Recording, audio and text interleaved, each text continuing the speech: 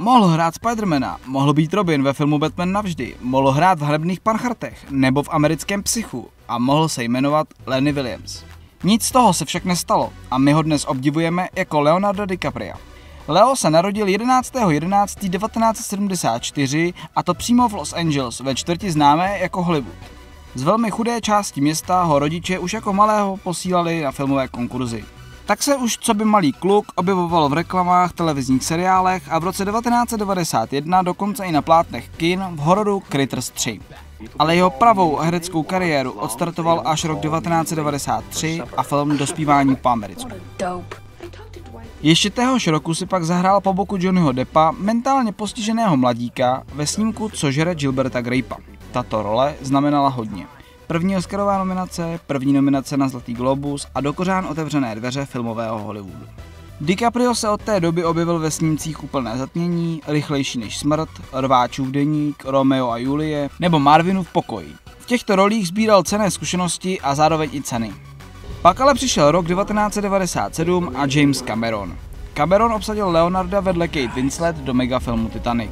Rázem znal Leonarda nejen svět filmových kritiků, ale úplně každý. Netrvalo to dlouho a Leonardo se začal objevovat i ve filmech těch nejlepších režisérů. Za všechny můžeme vzpomenout Woodyho Elena a film Celebrity, Dannyho Boyla a Pláž, nebo Chytně, když to dokážeš v režii velkého Stevena Spielberga. To už jsme v roce 2002 a Leo si zahrál hlavní postavu historického filmu Gangy New Yorku. Na tom by nebylo nic zvláštního, kdyby tento film nenatočil Martin Scorsese a DiCaprio se nestal jeho novým dvorním hercem. Tato dvojice následně spolupracovala na filmech Letec, Skrytá identita, Prokletý ostrov a nyní chystají nový snímek The Wolf of the Wall Street.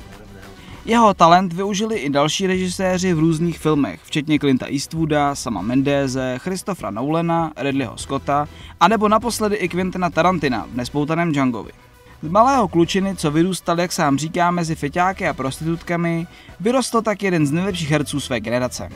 Má doma mnohé ceny a několik nominací na Oscara, avšak ještě žádnou jeho sošku. Jediné, co nám může dělat starost, je, že Leonardo prohlásil, že si dá od herectví pauzu a bude se plně věnovat svému dalšímu poslání ochraně přírody. Toto jeho zaměření ostatně potvrzuje i jeho dokumentární projekt 11. hodina. Ale nyní už je čas vyrazit do kin a obdivovat jeho talent v novince Velký Gatsby.